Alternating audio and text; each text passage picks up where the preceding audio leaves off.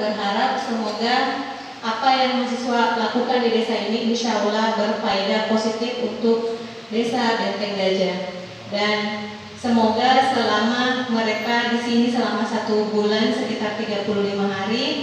dimohon bimbingannya dari warga dan juga e, para kepala kepala dusun terutama kepala desa